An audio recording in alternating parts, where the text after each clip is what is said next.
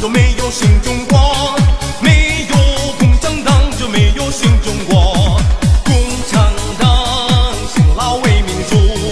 共产党他一心救中国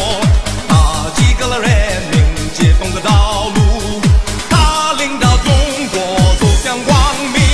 他坚持了抗战八年多他改善了人民生活建设了敌后根据地他实行了民主安 pushing